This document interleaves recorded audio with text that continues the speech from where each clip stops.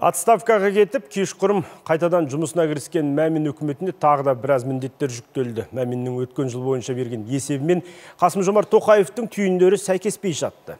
Президент карантин режимінде ел экономикасы әжептеуір тоқырады, әсіресе шағын және орта бизнес құрдымға кетті десе де, Мәмин біраз қажетті жұмыс атқарған, тағы да еңбек ететінін айтты. Дегенмен Нұрсұлтан Назарбаев жер кодексіне 5 жылға дейін мораторий жариялап берсе де, мерзімі тақалғанша түк бітпегені бүгін анық көрінді.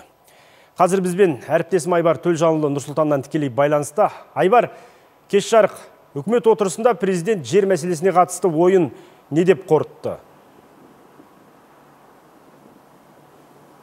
Я қайырлы кеш Ерғанат, ә, бізде елді дүрліктірген айтылып, айтылып депутаттарға жеткен шулы мәселелерге ерте болсын, кеш болсын міндетті түрде президент араласады. Өткен аптада мәжілісмен Берік Дүйсенбинов жер мәселесіне қашан нүкте қойылады. Тағы да көтеріліс болып кетіп жүрмесін деп Асқар Мәминге депутаттық сауал жолдап еді. Бүгін Мәмин емес, оның шешімін президент айтты. Ыңшыңсыз ұсыныстарды байыппен қарап, қарашаға дейін жер кодексіне қажетті өзгерістерді енгізейік деді. Нақты қандай норма екенін айтты айтпады бірақ мал жаятын жер таппай жүрген ауыл халқының мәселесі назарында сияқты. Өйткені үкімет пен бас прокуратураға жеке шаруалардың меншігіндегі бос жатқан жерлерді жыл соңына дейін ауыл азаматтарына қайтаруды тапсырды. Жайылымдардың 99 пайызы шаруа қожалықтарының иелігінде. Алайда оның 36 пайызында ғана мал жайылады. Қалған 46 миллион гектар жайылымдық жер бос жатыр. Үкіметке бас прокуратурамен бірлесіп биылғы жылдың соңына дейін осындай жайылымдарды қайтарып алуды тапсырамын. Президент күн сайын қымбаттап жатқан азық түлік мәселесін де көтеріпті. Енді оны кім қалай шешеді?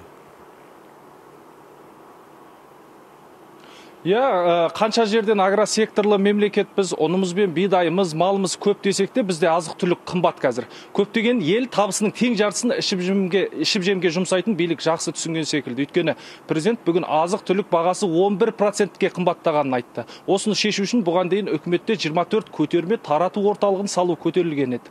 Ол орталықта 2 миллион тоннадан астам тауарды қабылдап, сақтап, қайта тебіп жібере аламыз. Оның үстіне 5 мың адамға сол жерден жұмыста табылады. Тоқай тоқаев бүгін сол тауар тарату желісін тезірек салып бітіріңдер деді. Себебі ел тұтынатын көкөністің 90 пайызы өзбекстаннан келеді екен.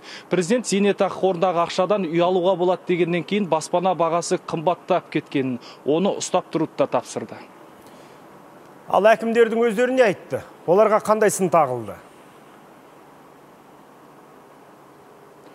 Иә, батыс Қазақстан э, облысында мысалы электр желілерінің 80% тозыпты. Ғали Есқалиев соны айтты. Э, өзге әкімдерде осындай мәселелерді қозғады. Дегенмен әкімдердің қай-қайсысы да сіз берген тапсырманың аясында сіздің қолдауыңызбен деген әдеттегі сөздерін баяндамаларына бұл жолы да қосып отырды. Бақытжан Сағынтаевтан басқасы қайырлы күнді қазақша бастап әрі қарай орысша сөйлеумен болды. Ерғанат, э, менің айтарым осы, сөз өзіңде.